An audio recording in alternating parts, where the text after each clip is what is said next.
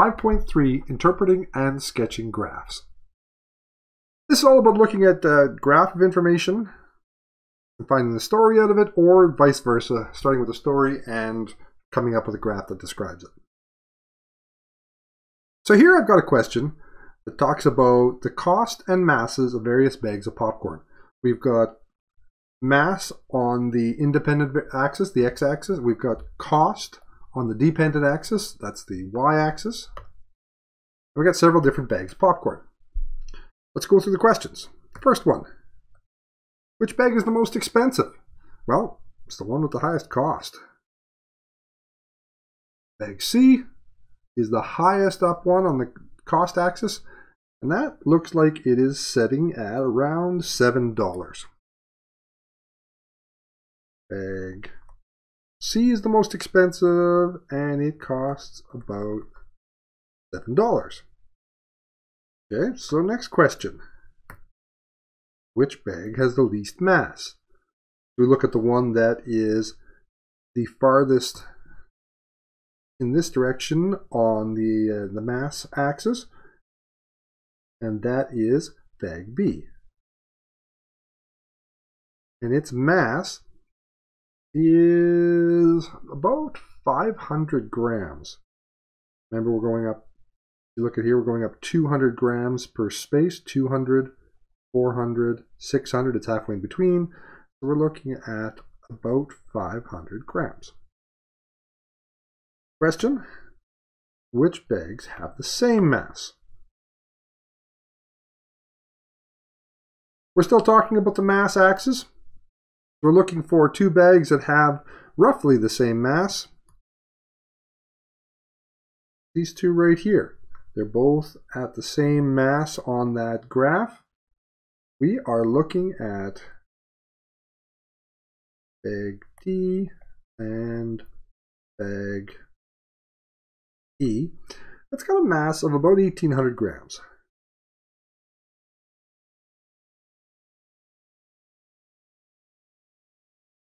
Next question asks, which bags cost the same? Okay, well, I'm looking on the cost axis, looking for two that line up. That would be these two right here. They go, both have a cost of $4. So my answers are bag A and bag E. And they both cost $4.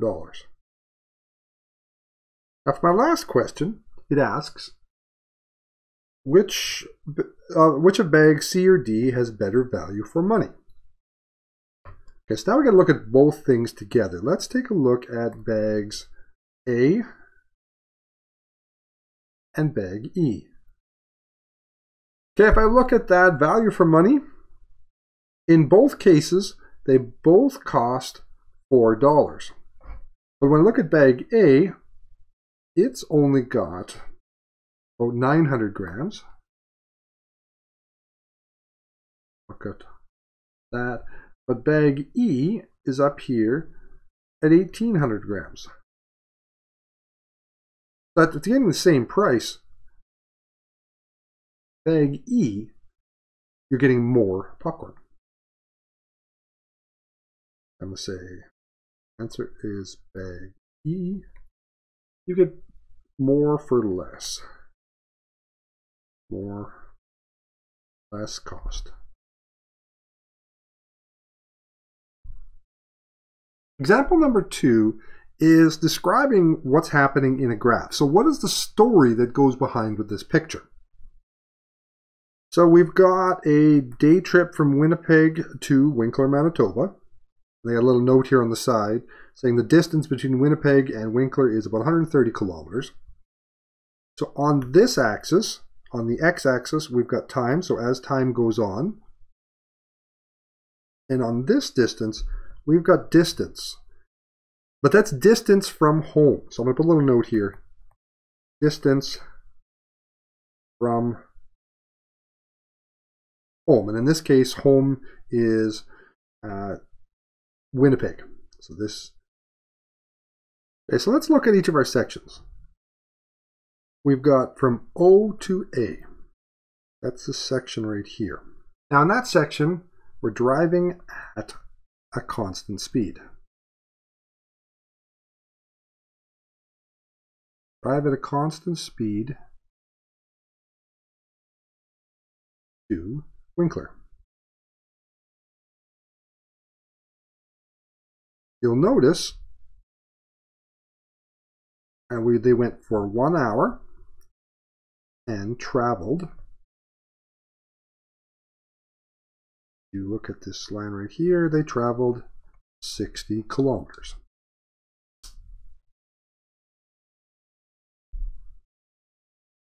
Hmm. Next if we move from A to B now keep in mind they didn't get there yet because the entire distance is 130 kilometers. So if I look from A to B, time is moving forward, but the distance is not increasing. So looks like they had about a 15 minute stop. Each space on here being half an hour, that's half of that. It appears that they had a 15 minute stop. They are not moving. So that is about a 15 minute stop. The next part is from B to C. And if you'll notice, the distance is now changing again along with time. That must mean they're driving again. So from B to C. They continued traveling.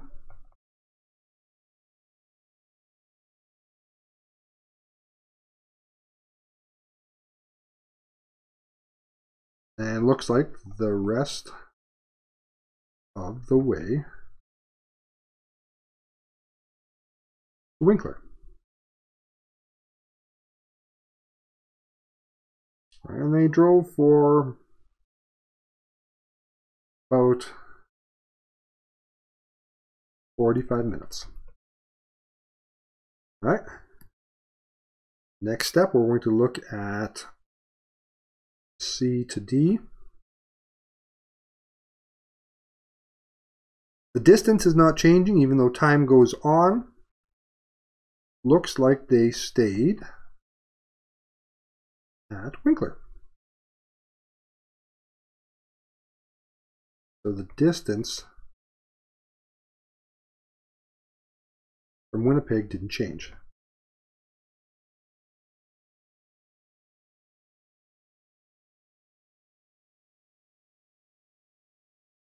And this looked like it was from two hours to four hours. So that is for two hours. They stayed in Winkler.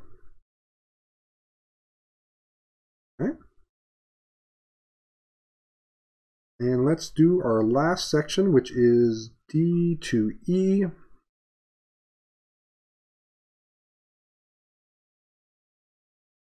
And in that section, they drove home without stopping.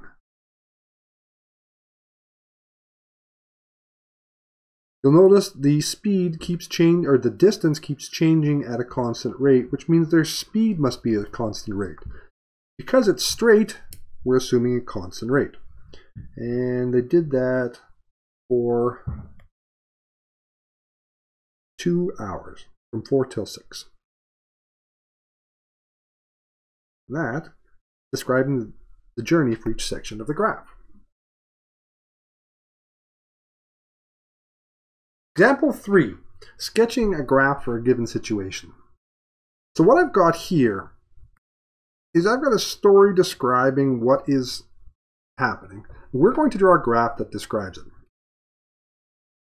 So Sam went on a bicycle ride. He accelerated until he reached a speed of 20 kilometers an hour. Then he cycled for 30 minutes at approximately 20 kilometers an hour.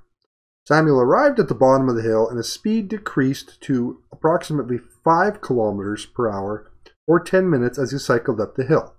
He stopped at the top of the hill for 10 minutes. So we are graphing this as speed as a function of time. So speed on the y-axis because it depends on time. The time is on the x, speed is on the y. Let's graph it and go through what each piece is. Let's start with that first acceleration. Sam starts at zero and works his way up to 20 kilometers an hour. Now we weren't told how fast he gets there, but we know that you can't instantly go from 0 to 20 kilometers per hour. In the real world, it doesn't work that way. It's, so what we've got here is from 0, 20, I'm going to put in a, pro, a bit of an angle on it. I don't know exactly what it's going to be. So once he accelerates to 20 kilometers an hour, Sam goes for 30 minutes at a constant speed. So if his speed doesn't change, we're going to put a horizontal line.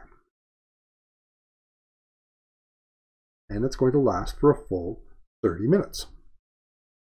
After that, he hits the bottom of the of the hill and he slows down to, fifth, to 5 kilometers per hour. Same thing again. You can't slow down uh, immediately to zero. It is going to take you some time. We don't have any information, so we'll just do it close enough. Make sure it's on a bit of an angle. He continued up that hill at 5 kilometers an hour, so he's going at a constant speed for about 10 minutes. So we're going to go from here over here. And last, or sorry, not last, next, he slows down and stops at the top of the hill. Same thing again, you don't slow down instantly. When he gets to the top of the hill, he gets to zero, and then he waits at the bottom of the hill for 10 minutes sorry, waits at the top of the hill for 10 minutes. We get a speed of zero. Now that should be here, speed of zero, so it'd be sitting right at zero. There's a description, this graph that describes exactly what's happening.